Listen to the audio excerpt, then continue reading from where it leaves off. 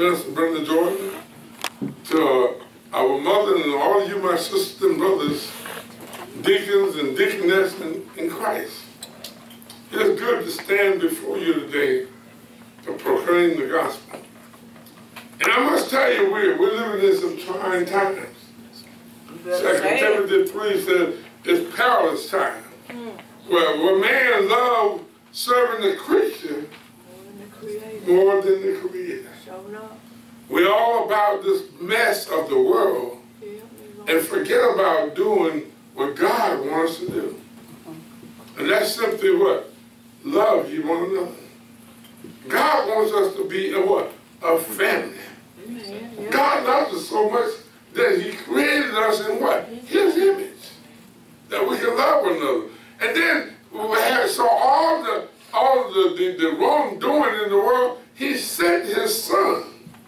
In fact, he manifested himself into the flesh to come here and be that example before us, to show us how we can live in this world as one in Jesus Christ. But most people don't want to live in Jesus Christ. They want to live in themselves. Yeah, Lord. But I come by to tell you, there's only one shepherd. And we all should acknowledge because one day, every knee must bow, and every tongue shall confess. So you confess Jesus today. So when he comes, you won't have to worry about that. Amen? Amen. Let's look at one of the most familiar passages in the Bible. Has been quoted by more theologians, more preachers, more human beings in the world than any other passage. That is Psalms 23. Psalms 23. Psalms 23, the most quoted passage in the world. But a lot of people say it but don't mean it in their heart. It's just like Isaiah said, Isaiah 29, you come to me with your lip service, but your heart is far from. Amen? Amen. Psalms 23. And when you have it, stand to your feet and say amen. Everybody got it? Amen. I want everybody to see it for themselves. Psalm 23. Psalms 23 in its entirety. And it reads, The Lord is my shepherd. I shall not want. He maketh me to lie down in green pastures. He leads me beside the still waters. He restores my soul. He leads me in the path of righteousness for his name's sake. Yea, though I walk through the valley of the shadow of death, I will fear no evil, for thou art with me. Thy rod and thy staff, they comfort me. Thou prepares a table before me in the presence of my enemies. Thou anointest my head with oil. My cup runs over. Surely goodness and mercy shall follow me all the days of my life, and I will dwell in the house of the Lord forever. You may take your seat.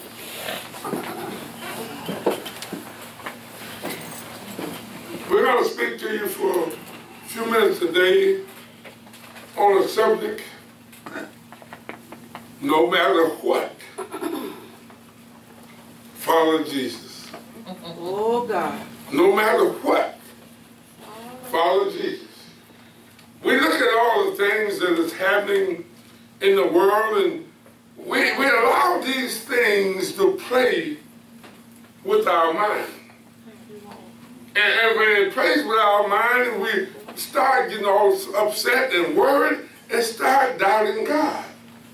God did not create us to worry or fear. That's it. But he created us for what? To worship to worship him. And how do we worship him? Is by being obedient unto his word. Now, if you don't understand what I mean, he says, I can do all things through Christ who strengthens me. And you know what? By you having faith in that, all righteousness comes to your good. By your faith. By our father Abraham.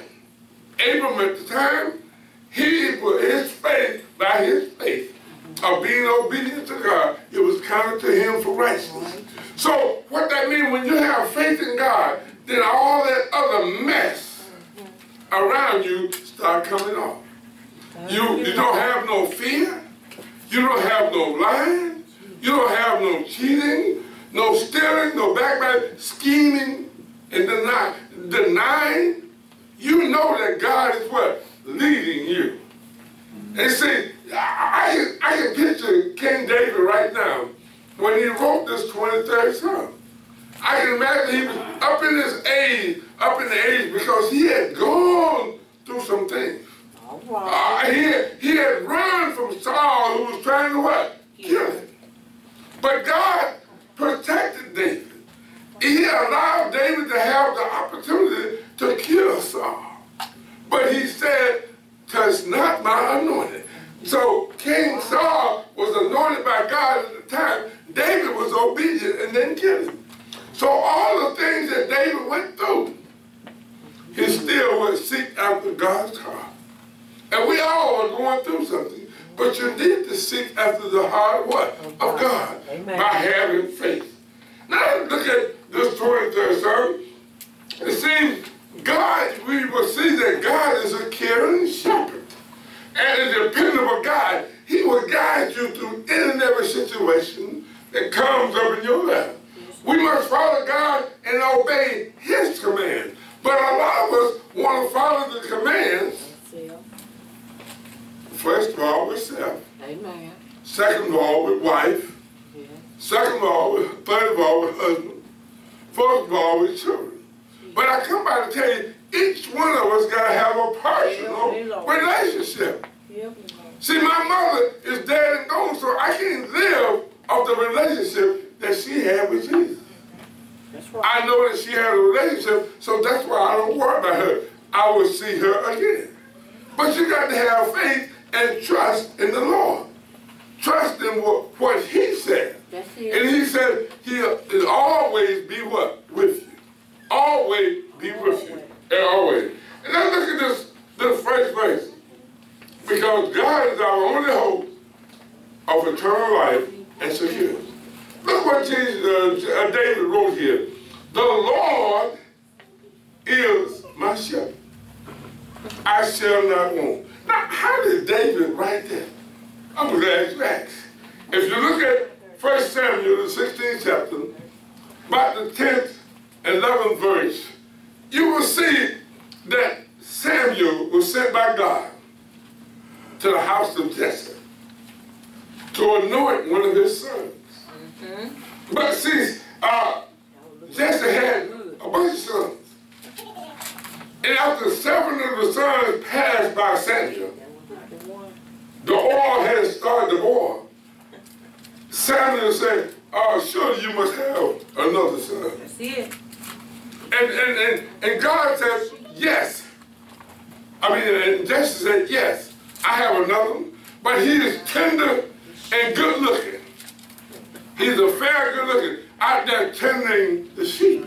if y'all know the story of David, David fought off the bear, fought off the lion with his staff. So David knew something about being what? A shepherd. But he also knew the shepherd. The one and only Lord, that's why he said, the Lord is my shepherd. Because God had guided him through all the situations of his life. With Saul, with the Philistines, with all those that were trying to kill him, with all those that were trying to do Israel in. But God led him. He followed the Spirit of the Lord. And he said, I shall not want.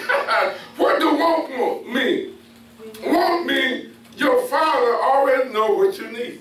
You can check that out in Matthew the 6th chapter, verse 18. verse 8, Jesus says he knows what you already what need. And if you check out Matthew 6, verse 32, he said, These things the heathens seek after. But your Father in heaven, but in order for him to be your Father in heaven, he gotta be your what? Shepherd. Your Father in heaven already know what you need. God know what you need before you even what? Ask. But he says, seek ye first, the third, third verse, seek ye first the kingdom of God and his righteousness, and all things shall be added unto you. But see, in this world, we, we seek women with lust, we seek men with lust, instead of seeking with the heart of Jesus Christ. and end up getting to something that is not good for us. We, we seek money. But put that out, of God, and end up losing everything and wanting everything. Amen. Amen? They say, he making me to lie down in a green pasture. Now, wait a minute. If you follow Jesus, he's going to make sure you have everything that you need. Philippians 4.19, he said, God will supply all your needs according to his riches in glory by Christ Jesus. So when you got Jesus, he is the light of your life, and he leads you through everything. He will make lead you in the land of plenty. He will lead you in the land of plenty. Uh, Psalm 25 and verse 5, Lord, lead me in the truth and teach me all things. When you turn yourself over to the Lord and let him have his way, my sisters and brothers, there is a day that you won't walk around with a smile on your face. Better say it. You might come up to some point you're going to frown, That's it. but when you get frowning and angry, sin not. Just trust in the Lord. He leads me beside the still waters. I understand why David said that. Because David was a shepherd. He used to lead the sheep. And he would take the sheep out to the sea to drink water. The sheep were timid animals. The waves come in roaring, and guess what the sheep would do? The sheep would run from the water because of the noise of the water. So therefore they didn't get anything to drink. And when they were walking through the desert, what happened to the sheep? They would die. But David dug a pool off from them, from the water, and dug a trench to that pool. So when the waves came in, the water would run in the trench to the pool. And the pool was called still water. God does the same thing for you today. When you trust in him and lean not to your own understanding, he will guide your path in everything that you need to do. Do you understand what I'm saying? It says, he restores my soul. He leads me in the path of righteousness for his name's sake. Uh, you know, uh, he restores my soul. He did it what? For himself. He showed you that he's God and give you the, the assurance that he's what? There for you. Uh, uh, uh, Hebrews 11 and 1 said, faith is the substance of things hoped for the evidence of things not seen. By and the second verse says, by it, by the, by it, by faith, the elders receive a good report. All you have to look at Daniel 3, and you see the good report that the Hebrew boys received. By trusting in the Lord. They walked around and ran in the fiery furnace and came out My Lord. with no smoke. Nobody but God. Hello? Amen. But you got to have faith and trust in the Lord, and He will restore your soul. He leads me in the path of righteousness for His name's sake. righteousness. Isaiah 54 and 14 says, in, in righteousness you shall be what? Established. And no oppression, no fear, no terror shall come near thee by me, says the Lord. But he said they shall gather together against you. but not by him. He wants you to remember that he made everything. He made the smith and the blower and the destroyer himself. That's it. But he says, no weapon that is formed against you shall prosper. Don't fall now. If you just, no matter what, Say that. just follow Jesus. Say that. No matter what, just follow Jesus. It said now, yea, though I walk through the valley of the shadow of death. My Lord. You see, if if you know the story Genesis 5 and look at about 24th verse, you will see that Enoch Oh, yeah. walked with God. Yes, he did. And, and, and his walking, Enoch did not see death. If you walk with God, you will not see death. I ain't talking about the physical death, the spiritual death that you have going in your life right now, where ain't nothing going right for you. Yeah, Lord.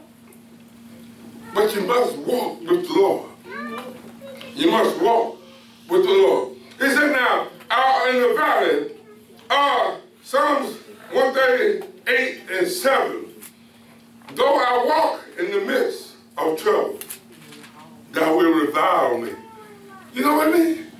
You walk like you're walking among the fire, but you won't get burned. Say that. Hello? Because God is going to what? Bring you through. Yes, he will. He's going to revile. But you must believe and follow him. Amen. No matter what, follow Jesus. Amen? Amen. Amen. It said now, and I will fear no evil, for thou art with me. Thy rod and thy staff, they comfort me. See, we worry about death. but Second Chronicles 15 and 13 says that whosoever would not seek the Lord shall be put to death.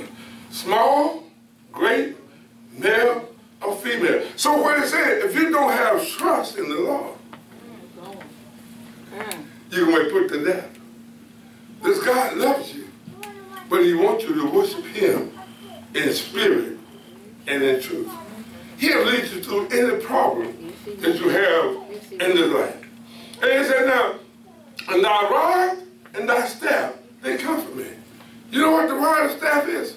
Look at Revelation 3 and verse 19. He said, as many as I love, I rebuke and chasten. My Lord. See, when you get spanked, you need to be giving God the glory. Glory. Thank you, Lord, for spanking me. Thank you, Lord, for my troubles, for opening my eyes so I can see the right way. The rod was to fight off the, the animals, but the staff was to use to keep you and I in line. That's why he said in Romans 8, 28, all things work together to the good of those that love the Lord, to whom are called according to his purpose. And we are called, but a few are chosen.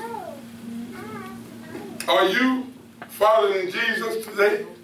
Are you living the life that Jesus wants you to live? Are you doing your own thing because I know what I'm doing? Oh, And this is my life.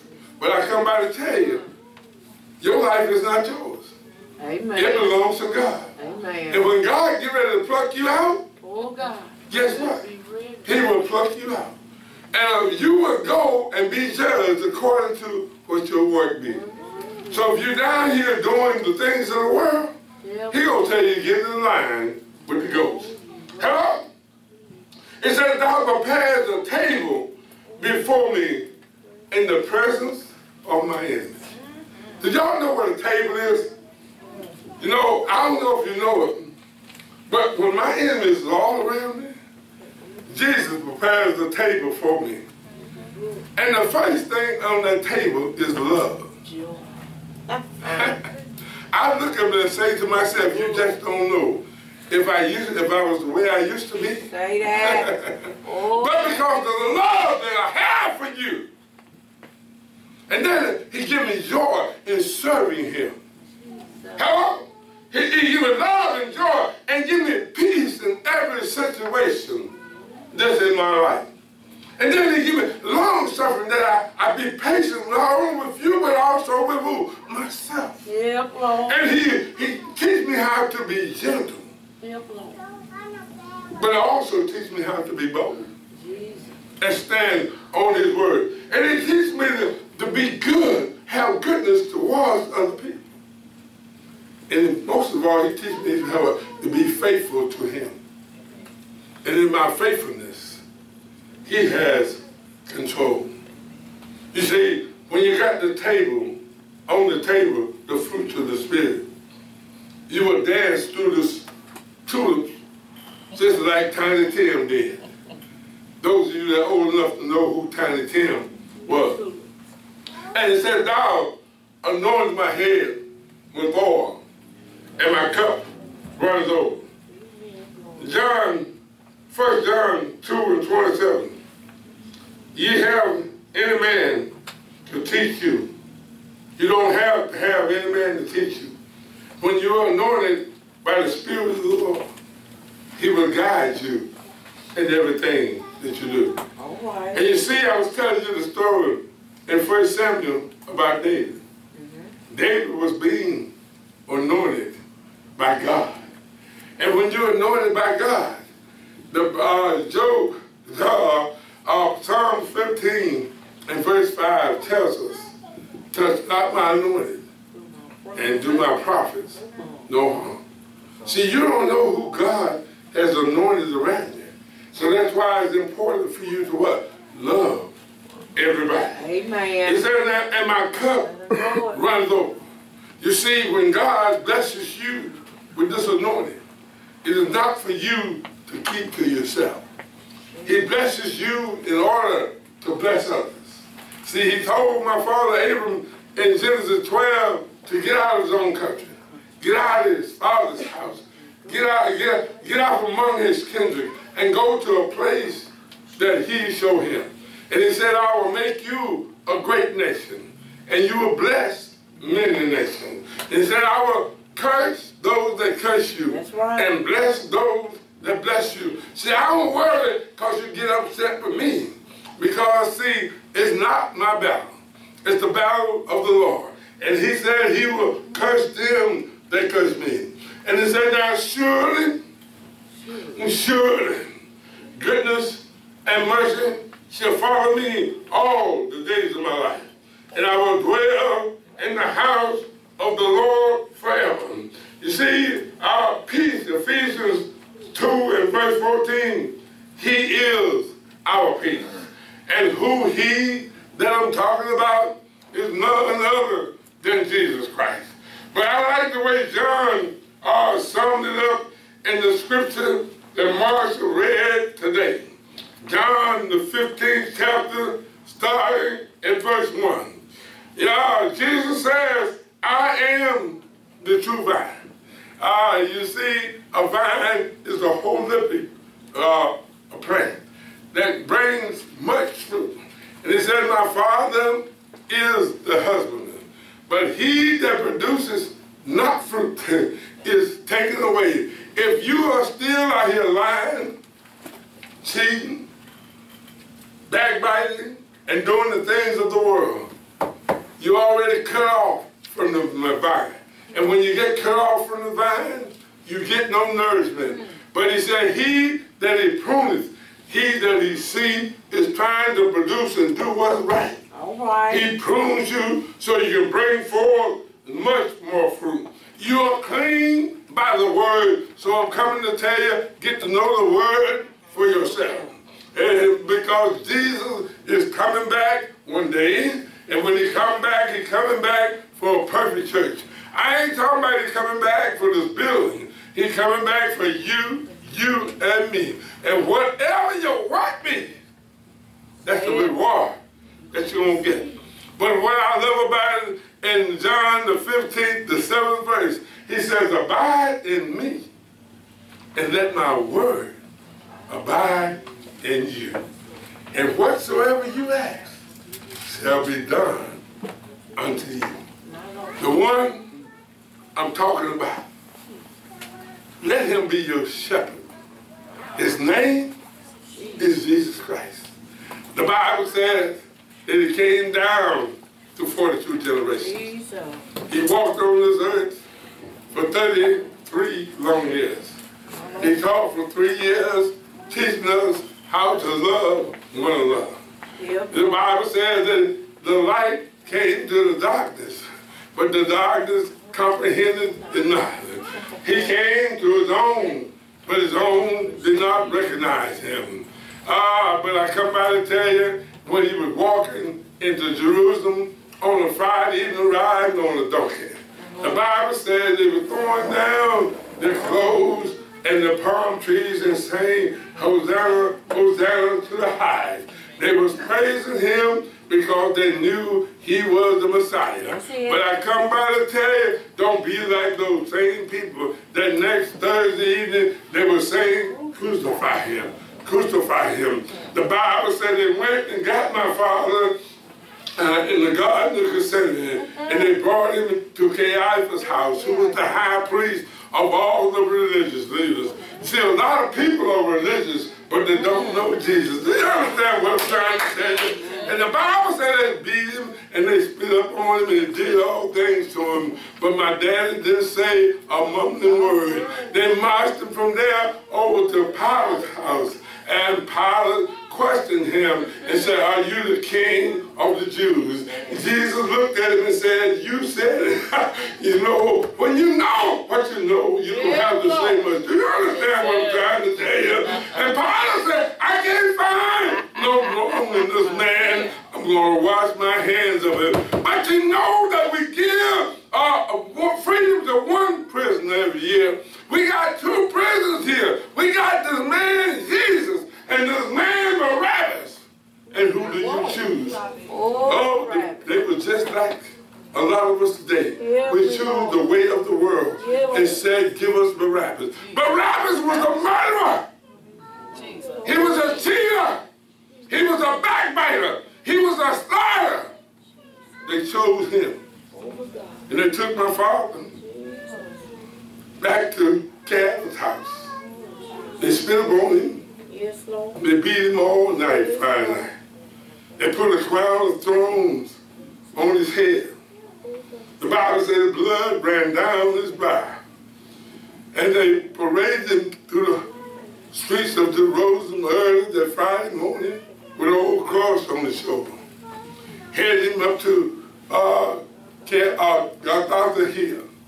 The Bible says he fell down, but for your sakes and my sake, Thank you, Lord. he got up again. Thank you, Lord. And he made it up to Calvary Hill. And he laid down his life.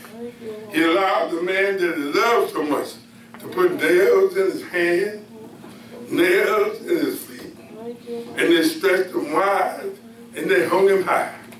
The Bible says Jesus stayed on that cross from the sixth to the ninth hour.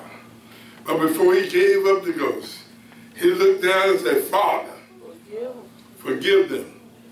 for they know not what to do.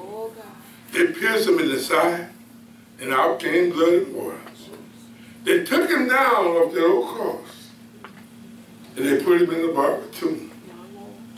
The Bible says he stayed there all night Friday night. He stayed there all night Saturday night. Saturday. He stayed there all night Saturday night. But early Sunday morning, he got up with all power. And that power is here for you today. No matter what, let Jesus lead you. There might be somebody here today that don't know this man